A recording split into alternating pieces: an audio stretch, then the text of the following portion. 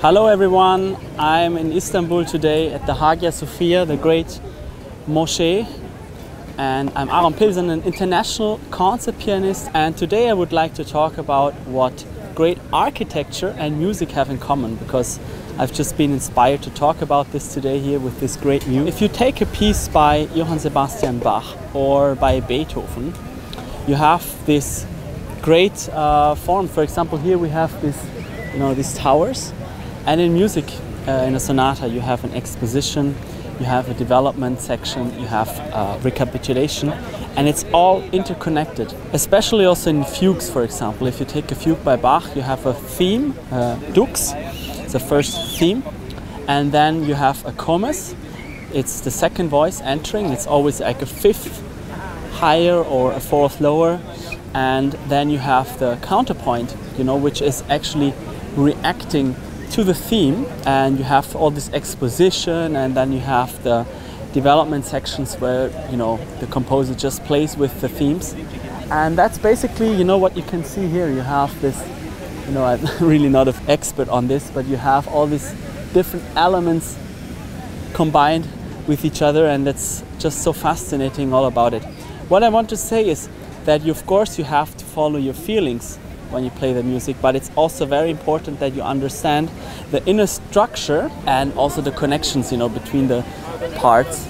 Otherwise, you'll not be able to really fully represent that piece. So you need to have that like view over the whole piece and then of course also pay attention to the details which is very very important if you want to interpret a piece the best possible way on top of that of course you also have to be an actor is everything that I've talked about already but you really need to understand the structure of the piece in and of itself many students often ask me you know if it's important to actually understand the harmonies to know where it's a major, where it's a minor, where it's a tonic, a dominant, etc.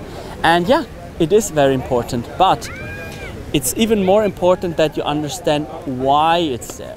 For example, if you have a cadence, let's say a very simple cadence, you have a subdominant, dominant, and a tonic, right, as the harmonies, it's very important that you know why it's there and that, for example, the dominant is also um, has more weight and the tonic is kind of a release, for example, or that you understand where there is a dissonance, where there is tension in music, and where there is consonance, where there is no tension, because you know that actually plays out in the interpretation. If you know these tensions, if you know these uh, importance of the different harmonies, you know, if you start by classical music, for example, you have much uh, of the much simpler harmonies and you go to romantic music and you have much more complex harmonies and then you know in contemporary music often you have no harmonies at all. So it's all um, you know there's a big tradition of that and it's important to understand it. For example if you look at old buildings you know there's also a tradition in how you build that and then if you look to more modern buildings of course you know you don't have that but there is a connection to the old style often, or sometimes there is, you know, uh, the architect plays with different elements, and it's the same in music, basically. If you really want to, of course, study music on a deeper level, if you really want to become a professional musician, you need to have also great classes in theory. For example, when I was in Salzburg, I remember I had classes with um, Günther Vierlinger, who showed me exactly also how I can play chorals on the piano, how I can read Generalbass and also uh, play that on the piano, but also how I could play different cadences and we would also analyze different pieces. Later in my studies in Hanover, I had classes with Arvid Ong, also great teacher, and then we also understood how to actually read a Brahms ballad, for example, how to understand a Mahler symphony, to understand all these different harmonies in there. And it's really important to really get a solid foundation of that. Other thing that's also very important is the rhythmical elements. This is something that I will talk in other videos, but here I just want to show you how the architecture, the basic harmony and uh, functions of different uh, motifs is important to understand in order to interpret classical music well. As an architecture also in music, it doesn't really matter where music is coming from. You know, this is Oriental style, but we also have great churches in uh, the West, of course. It doesn't really matter where it's from. The greatest art always has these core elements, this core structure. And that's important. Like art brings order into chaos, right? You have the chaos which is underlying the order, but you also need the order in order to express that and to bring, you know, bring that uh, into our world. Basically, uh, you know, art is the creation of people, and uh, what we see in nature is the creation of God, if we believe in God or, uh, you know, universe, whatever. As art is the creation of human beings, human beings always try to bring order into the chaos of the world and to express that and to leave something behind that is bigger than themselves. Because otherwise you know life would be pretty meaningless. That's also you know the role of art and of music to bring something into the world which stays which has a deeper meaning. And for that we need to create that order.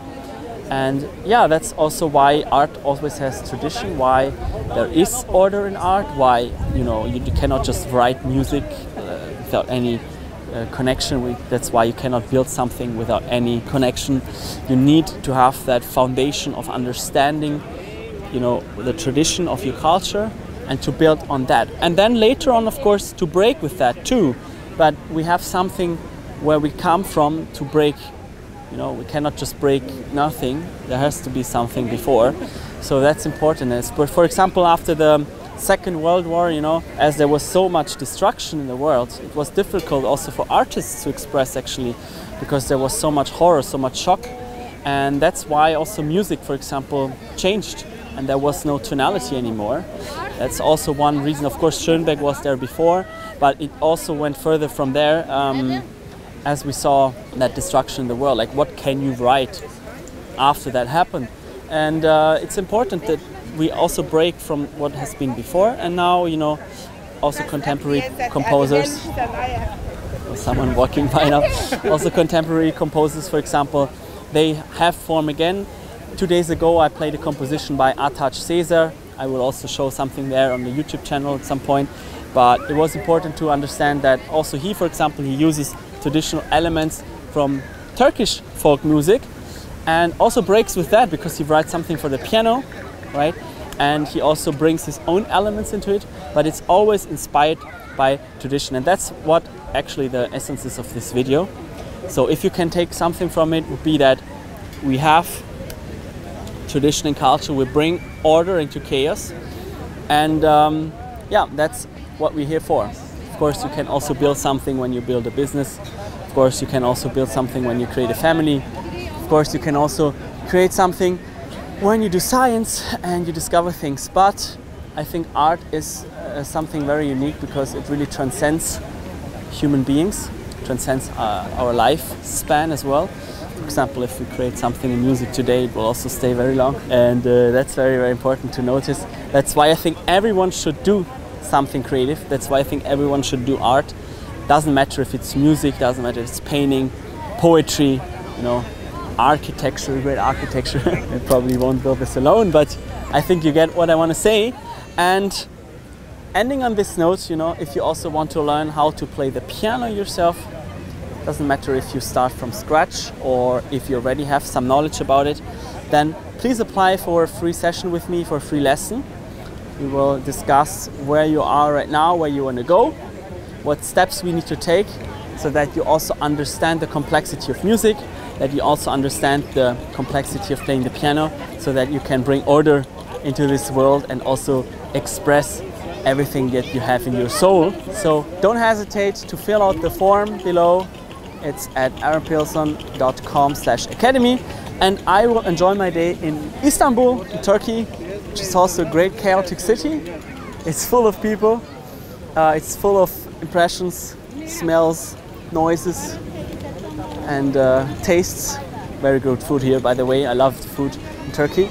But we also have these monuments of art which stand for order in a chaotic world. And it's great that I'm here. Thankful for this. And see you again the next video. Don't forget to subscribe the channel and take care.